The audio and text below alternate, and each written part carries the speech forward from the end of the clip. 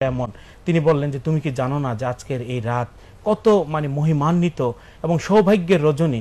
তা আমরা স্পষ্ট বুঝতে পারছি যে এই রাত হচ্ছে এবাদতের হ্যাঁ, একটি রাত একটি রাত। গুরুত্বপূর্ণ রাত। আমরা যেন বাকি যে সময়টুকু আছে, এটা যেন অবশ্যই কোনোভাবেই ঘোরাফেরা এই মসজিদে, ওই মসজিদে ছুটাছুটি না করে, অথবা যে কিছু ট্রেডিশন ব্যাড কালচার আছে, পটকাবাজি অথবা এগুলো না করে আমরা যেন এবাদতের মধ্যে কাটাই, একটা মুহূর্ত যেন আমরা নষ্ট না করি। আমি তো জানি না যে আগামী বছর এই সবে বরাত আমি পাবো কিনা। তাই কোন একটা মুহূর্ত যেন আমরা নষ্ট না করি, এটা আমাদের সকলের প্রতি বিনীতভাবে অনুরোধ থাকবে। মাননীয় খতিব আপনার কাছে আরেকটু যে বিষয়টি মাওলানা শহীদুল্লাহ যে বিষয়টির প্রতি আলোকপাত করলেন, এই যে রজনী মানে বাকি যে সময়টুক থাকবে, মানুষ মানে আপনি কোন বিষয়টি বেশি পরামর্শ দেবেন? এটি কি বিভিন্ন অনুষ্ঠান আদি দেখা, নাকি নিজে অনুশীলন করা, জিকির আজকার করা, কোরআন তেলায়েত করা, কোরআন তেলায়েত শোনা কোন বিষয়টির উপর আপনি অধিক গুরুত্ব দেবেন? আপনি আমাদেরকে এর আমল সম্পর্কেও যদি একটু বিস্তারিত বলেন। জি। ফজিলতের মধ্যে, তাৎপর্যের মধ্যে আরেকটু কথা আমি বলতে চাই। পরে আমলের মধ্যে আমি আসব। হজরত ঈসা আলাইহিসালাম ইমিডিয়েট আমাদের নবীর আগে যিনি ছিলেন, যিশু। তো তিনি একবার আল্লাহর কাছে ফরিয়াদ করলেন, রব্বুল আলমিন, আমি একটু জানতে চাই তো এই যুগে সবচেয়ে বড় আবেদ সাধক, বড় দরবেশকে। আল্লাহ পাক বলেন, অমুক জায়গায় তুমি যাও। তো ইশারা পেয়ে সেই জায়গায় গেলেন। পাহাড়ি এলাকা, তো অনেক বড় একটা সাদা পাথর। তা আল্লাহ পাক ইশারা করলে তোমার হাতে যে লাঠি, এটি দিয়ে তুমি পাথরটা আঘাত করো। আঘাত করার পরেই পাথরটা সরে গেল। আল্লাহ সরিয়ে দিয়েছে একটা উসিলা। দেখেন যে এক দরবেশ সাধক এক আবেদ ব্যক্তি সেখানে আল্লাহর এবাদতে মশগুল। তিনি সালাম দিলেন। তিনি সালামের জবাব দিলেন। তখন ইসা আলাইসাল্লাম জিজ্ঞেস করলেন, আপনি এই নির্জনে, এই পাহাড়ে কতদিন যাবত আপনি এবাদত করে যাচ্ছেন? উনি বলেন একশত বৎসর। আমার মায়ের দোয়ায় আমি হায়াত পেয়েছি। এই আমি, এই একেবারে কোনো কামাই না দিয়া আমার খাওয়া আল্লাহর তরফ থেকে আসে, পানি আল্লাহর তরফ থেকে আসে। এইভাবে এবাদত করছি। তো ঈসা আলাইসাল্লাম একটু অবাক হয়ে গেলেন, বিস্মিত হলেন যে এই একটানা একশো বৎসর এবাদত আর আমার তো বয়স কম। তা আল্লাহ রব্বুল আলমিনের তরফ থেকে ওহি আসলো যে, ঈসা তুমি অবাক হয়েছ। এই লোকটি একশত বৎসর এবাদত করে যে সওয়া পাওনা হয়েছে, আমার শেষ নবী, আমার বন্ধু মোহাম্মদ সাল্লাহ সাল্লাম তার উম্মতদের জন্য আমি একটি রজনী দান করেছি। সেটার নাম হইল লাইলাতুল বারাত নেসফে শাবান শবে বারাত। তো তার উম্মতেরা যদি এখলাস এবং ভালো নিয়ত নিয়ে প্রেম ভালোবাসা নিয়ে যদি এক রাত এবাদত করে এই একশত বছর এবাদতের চেয়ে বেশি নেকি আমি তাদেরকে দান করব। তখনই হজরত ইসা আলাইসাল্লাম আল্লাহর কাছে বললেন যে আল্লাহ তুমি তো আমাকে নবী করেছ অনেক বড় সম্মান। তা আমি সেই নবীর উম্মত হতে চাই। যে নবীর উম্মতকে তুমি আল্লাহ এত বড় সম্মানিত করেছ। আল্লাহ বলেন যাও তোমার ফরিয়াদ আমি মঞ্জুর করলাম। আর আপনি নিশ্চয়ই জানেন কেয়ামতের আগে তিনি আবার আসবেন পৃথিবীতে তবে নবী হিসাবে না তিনি আমাদের নবীর উম্মত হিসেবে তিনি আসবেন। তো এতে দেখেন কত বড় ফজিলতের কথাই তো আমাদের অনেক সময় কষ্ট হয় যে অনেক বন্ধু বান্ধবরা আমাদের ছাত্ররাও, কেন জানি তারা সবে বেড়াতের গুরুত্ব দিতে চান না এটার মূল্য দিতে চান না।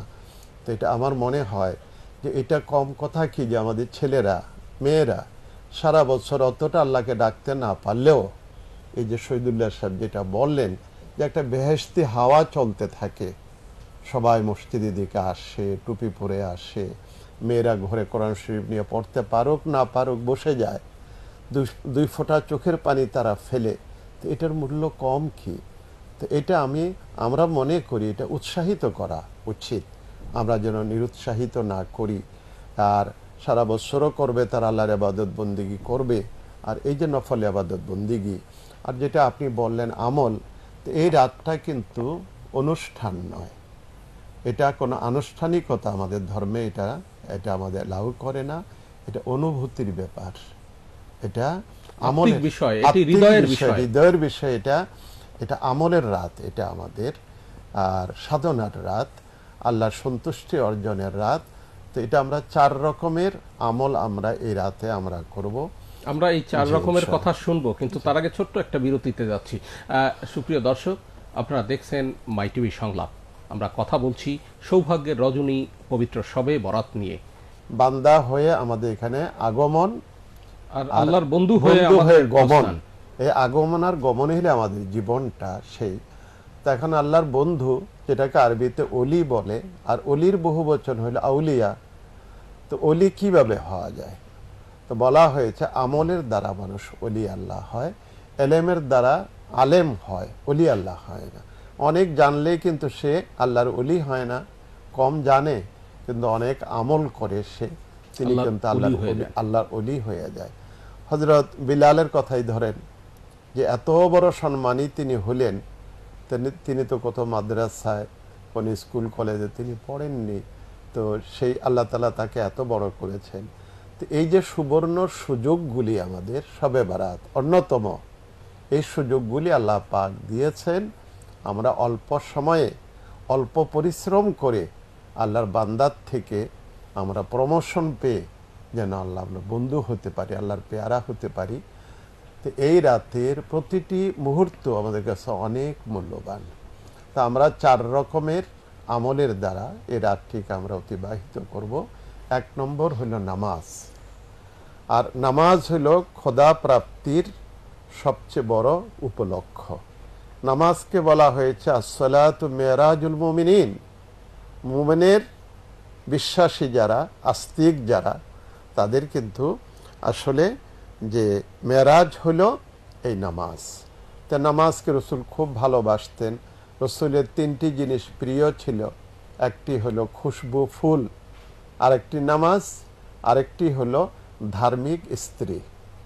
বাধ্য ধার্মিক স্ত্রী তো এই হুজুর রসুল সাল্লাহ আলিয়াল্লাম একটু সময় পেলেই কিন্তু নামাজে দাঁড়িয়ে যেতেন। নামাজ যে কি ভালো লাগতো। তখন আল্লাহর বান্দা আর বন্ধু, আল্লাহ এবং আল্লাহর বান্দা কিন্তু নামাজের সময় একদম মিশে যায়।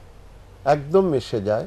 সেই জন্য বলা হয়েছে, মিয়ানে আশেক ও মাসু কে রমজেস কেরামান কাতিবিরা হাম খবর নিস আশেক আর মাসুক এই দুইজন যখন নামাজে দাঁড়ায় যায় তখন আল্লাহর আল্লাহর বান্দা একাকার হয়ে যায় একদম এক হয়ে যায়। আল্লাহর একদম কাছে চলে যায়। আমরা যখন সেজদা করি আল্লাহকে দেখতে পাই না কিন্তু তার কুদরতি দুই কদম সে কুদরতি কদমের মাঝখানে কিন্তু আমার কপাল ঠেকিয়ে নাক ঠেকিয়ে জমিনে আমরা বলি সুবাহান রব্বিয়াল আলা সুবাহান রব্বিয়াল এটা কিন্তু অনেক মূল্য। অনেক বিজাতি যারা তারা আমাদেরকে নামাজ পড়তে দেখে তারা কিন্তু এত পছন্দ করে যে এত সুন্দর উপাসনা একসাথে রুকু, একসাথে সেজিদা। আসলে ইসলাম বড় শান্তির, সুন্দর ধর্ম ছিল। কিন্তু আমরা এটাকে দুর্নাম করে ফেলছি। ইসলাম, এটা হলো শান্তির ধর্ম। ইসলাম, ইসলামের মধ্যে কোনো টেরোরিজম নাই। ইসলাম, এটা কোনো মুসলিম টেরোরিস্ট হতে পারে না। সত্যিকারের যিনি ধার্মিক তিনি হতে টের- পারেন না। তিনি টেরোরিস্ট প্রথম আমল হচ্ছে আমাদের নামাজ। প্রথম আমলটা হলো নামাজ নফল নামাজ। এটা আমরা মাগরিব থেকে এশার মাঝখানে ইন বিটুইন মাগরিব এন এশা যে সময়টা পাবো এখানে আমরা দুই রাকাত দুই রাকাত করে আমরা এই নামাজটা পড়তে পারি। প্রথম রাকাতে আলহামদু সুরা একবার এবং তার সাথে কুলহু আল্লাহ তিনবার। এই সুরাগুলি সবাই জানে তিনবার কুলহু আল্লাহ পড়লে এক খতম কোরআনের সব পাওয়া যায়। এইভাবে চার রাকাত ছয় রাখাত আট রাকাত। আবার এশার নামাজটা আমরা জমাতে পড়ব। জমাতে পড়ার পরে আবার যে সময়টা পাবো আমরা ফজরের আগ কিছু- পর্যন্ত। ফজর আগ পর্যন্ত। আরও কিছু নফল নামাজ আমরা পড়লাম। দুই নম্বর আমল হলো তেলাওয়াতে কোরআন। আল্লাহকে দেখি না কিন্তু কোরআন শরীফকে আমরা দেখতে পাই। ফুলের গ্রানটা কিন্তু আমরা দেখি না কিন্তু ফুলটা দেখতে পাই। তো ফুলের গ্রান যদি আমি পাইতে হয় আমাকে ফুল হাতে নিতে হবে। তো এরকম আল্লাহকে দেখা যায় না কিন্তু আল্লাহ সৃষ্টি দেখা যায়। আপনার ভিতরে আমার ভিতরে আল্লাহ কিন্তু আছেন। প্রত্যেকের অন্তরকে বলা হয়েছে কুলুবুল মোমিনিন আরশুল্লাহ মোমেনের বান্দার মোমেন বান্দার কাল্বটা হলো আল্লাহর বাসস্থান। এই জন্য মসজিদ ভাঙলে যে গুণা হয় তার চেয়ে অনেক বেশি গুণা হয় মানুষের মন ভাঙলে। আর এই মন ছোট মানুষেরও হয় বড় মানুষেরও হয়। এই পাপটা যেন আমরা কেউ না করি সবচেয়ে বড় গুনার কাজ মানুষের মন মনে। মানুষ মন ভাঙ্গা মনে কষ্ট দেওয়া। আরেকটি এবাদত হলো এই কোরআন শরীফ আমরা বেশি তালাবাত করব। আর এই কোরআনের মধ্যে আল্লাহ পাক লুকাই আছেন। তিন নম্বর হলো আমরা জিকির আসকার করব আল্লাহ তালার নফি ইসবাত লা ইলাহা ইল্লাল্লাহ।